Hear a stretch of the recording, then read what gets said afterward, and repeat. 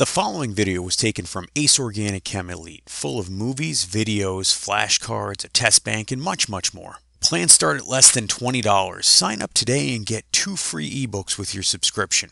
Cancel anytime, money back guarantee if not completely satisfied, and you keep the ebooks. Just click on the link in the video notes. And now, on to our video. In this video, we're going to talk about the Wittig reaction. And Wittig is spelled, right, some people call it a Wittig, but I, I think it's actually pronounced Wittig. What this reaction does is that you can take uh, a carbonyl, so here I show uh, an aldehyde on the top or a, a ketone on the bottom, and you can subject it to a phosphorus compound. In this case, we're going to uh, use the one I show here. And what this does in its very, very most basic form is you substitute whatever is on the end of this phosphorus ylide, and we'll talk about that in a second, you substitute that for the oxygen. So you make an alkene out of an aldehyde here. And we can do the same thing with this ketone down here, we'll, we'll change it up a little bit. Um, instead of that, how about this? Right, so we've got an ethyl group on the end there. And when this is all said and done, you do this reaction and you replace that with this. So in both cases, we've created an aldehyde. In the top case, it is a monosub. I'm sorry, an alkene. Uh, monosubstituted alkene on the top, trisubstituted alkene on the bottom. It's a really handy reaction for working with aldehydes and ketones, but we're going to dive into this thing. So the first thing we need to ask is what the heck is that phosphorus reagent we're dealing with? And it's called an ylide, specifically in this case a phosphorus ylide. And a phosphorus ylide is created kind of specifically. You take triphenyl phosphine. That's that. So the Ph is just uh, benzene rings or phenyl rings. Three phenyl rings attached to a phosphorus. That's triphenyl phosphine. We will subject that to an alkyl halide. When we do this reaction, it's an SN2-like reaction. So phosphorus is the nucleophile. There's our leaving group making this carbon here the electrophile. Phosphorus attacks, kicks off the leaving group. And, and I'm going to draw out here what you get out of this because I, I think it's instructive.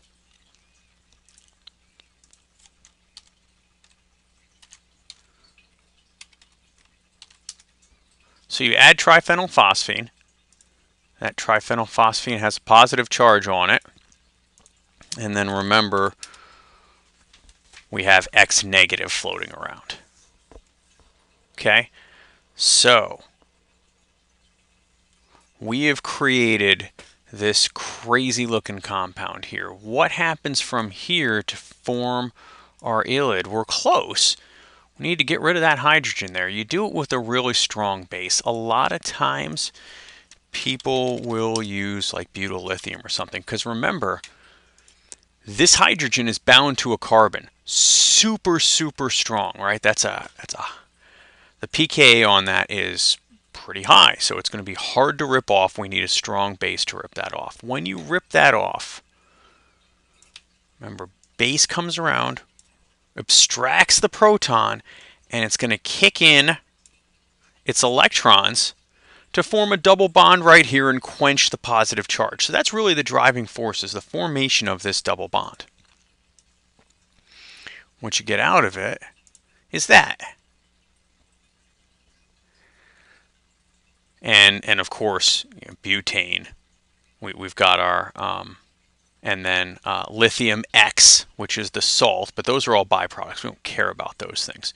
What we care about is that you formed your ylide.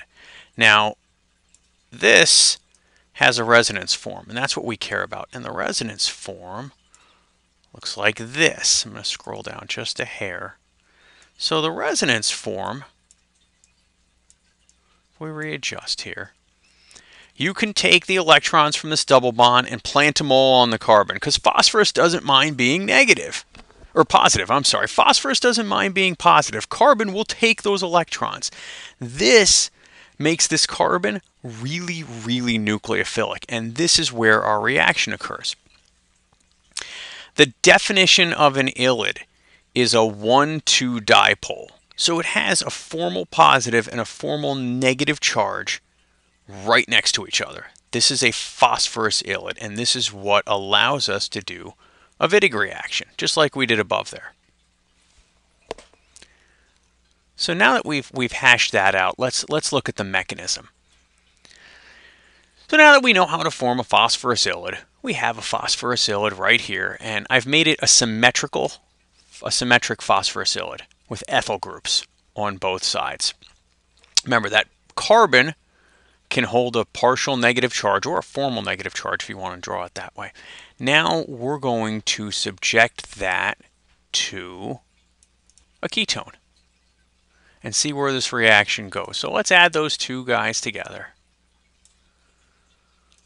If we were to do this, remember, ketones, there is our electrophile. That carbon is very electrophilic. This carbon is very nucleophilic because of resonance in both cases. Think about your resonance when you're doing this. When we do this reaction, it's going to be uh, a reversible reaction because it, it can go back and forth. And what we're going to get out, uh, actually I'll, I'll draw it. And, and I think it's instructive to draw it because you can see some geometries. So there's our triphenylphosphine. Oops, excuse me. Remember we had a negative charge on this carbon here. That will have attacked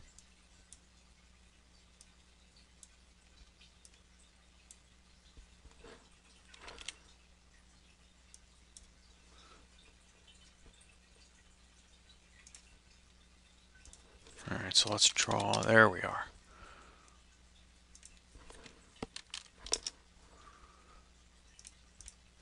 And, and what we've gotten out of it, here comes the crazy part.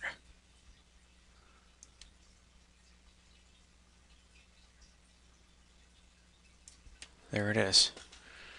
And of course, a positive charge on the phosphorus this structure. And all I've done here is taken these electrons, transferred them over to the carbonyl, and then I guess if we're going to be formal about this, remember those electrons kick up to the oxygen. That's how we get the negative charge up there.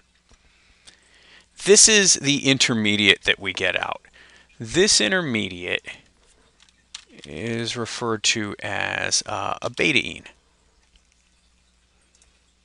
This is the first step of our Wittig reaction, the first intermediate. Now, what I'm seeing here is a negative oxygen near a really near a positive phosphorus. Phosphorus loves oxygen, like really loves oxygen. Thinks it's the, the best. Phosphorus is considered an oxophile because of good orbital overlap. Phosphorus loves being bound to oxygen. And guess what? One happens to be negative and the other is positive right now. So boom, we're going to close that loop. And what you get out is the new structure that looks like this. This structure, this intermediate, is referred to as an oxaphosphetane. Oxaphosphetane. Again, another intermediate in forming our alkene that we're eventually going to get out of this. This is the easy part now. You have a four-membered ring. This thing is going to fall apart because, again, phosphorus loves oxygen. You do a backwards 2 plus 2. And what we're going to get out of it is our alkene with the methyl groups on one side, the ethyl groups on the other. So let's draw those here. Ethyl groups on that side. Methyl groups on this side.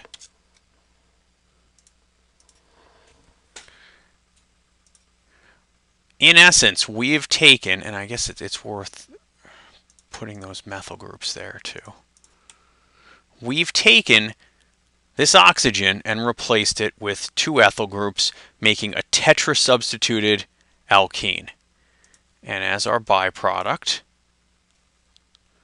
triphenylphosphine oxide, which is kind of difficult to get rid of, but you know, we're doing paper chemistry here. We don't care about that. In the laboratory, there's other ways to do this that are uh, a little easier to get rid of byproducts, but for paper chemistry, this works really well.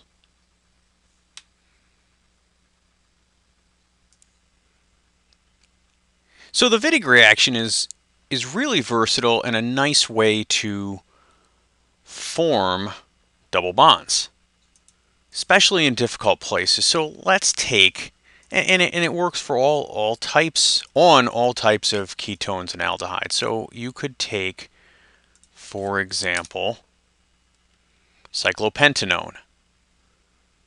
And you could subject cyclopentanone to, you know, really whatever Wittig you wanted. Let's let's do a simple one. Carbon, and then off of that carbon is uh, let's see, there'd be a hydrogen, and then let's make it CH2CH3. There we are.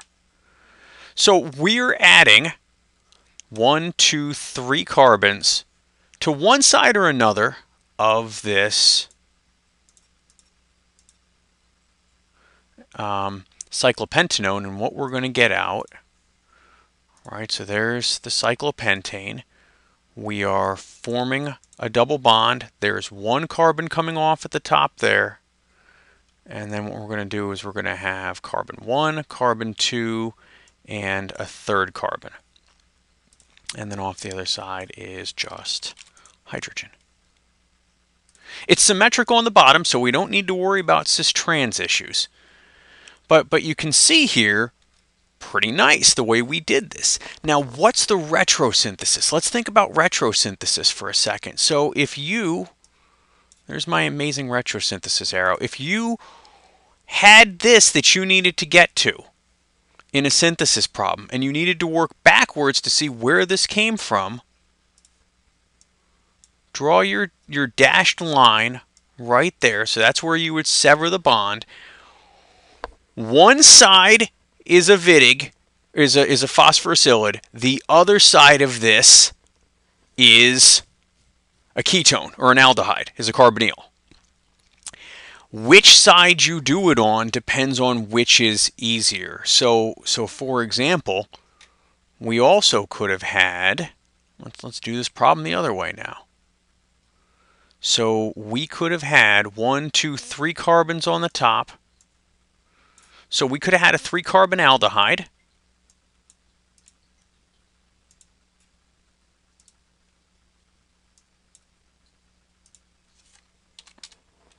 And we could have subjected that three carbon aldehyde to the phosphorus ylide of, watch this,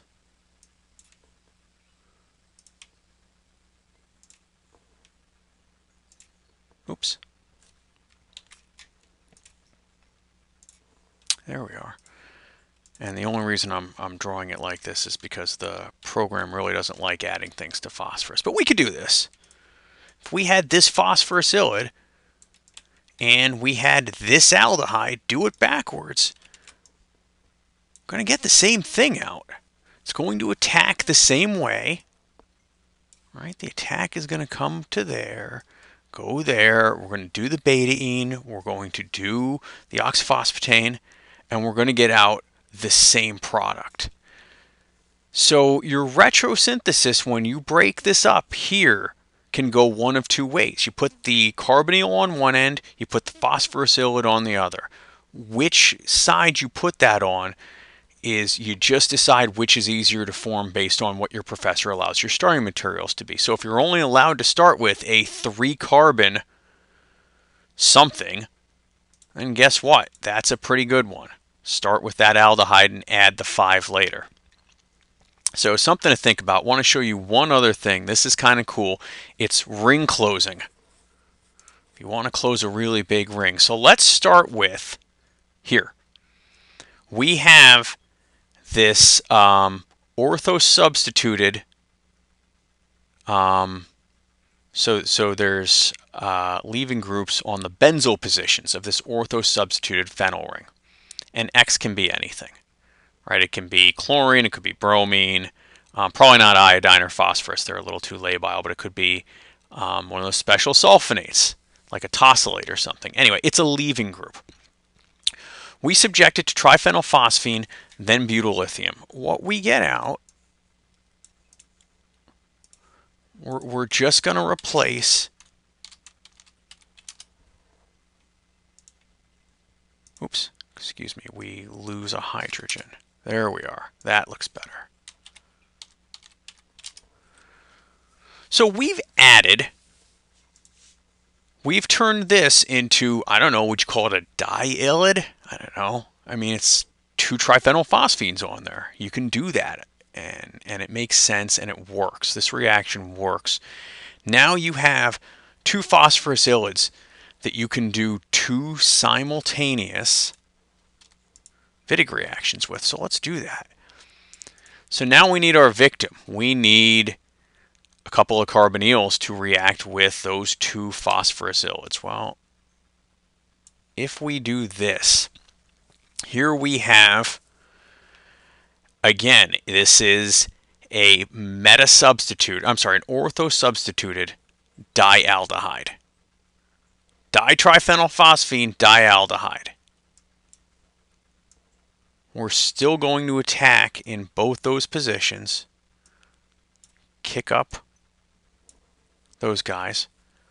We are going to create two, all right, mind this, two alkenes. We're going to close the ring between these two. We're going to close a ring and create a ring between these two phenyl rings. How big is that ring going to be in the middle? Here's the easiest thing to do. Count your carbons. So let's start here. Carbon 1, carbon 2, carbons 3 and 4. Um, oh, I'm sorry, and I've got the phosphorus attacking. It's not the phosphorus that attacks. That, that was a little, a little sloppy of me there. Um, you, you, actually, I very well might have lost credit for that on an exam. Right, it's the carbons that attack. Don't, don't get sloppy with your mechanisms like I just did. Let's have those carbons attack. There we are. Much better. So the carbons attack one, two, three, four on part of the ring. And then here we're forming a double bond, here we're forming a double bond, and on the other side of those double bonds is one, two, three, four carbons. So four on this side, we're adding four carbons in the ring on this side. We're going to create an eight-membered ring in the middle. An eight-membered ring with two phenyl groups on the end. There's the eight-membered ring we created. There's the two double bonds we created. This looks really, really good. And, and what you get out of this is this really cool fused three-membered ring system. Three-membered ring fused system.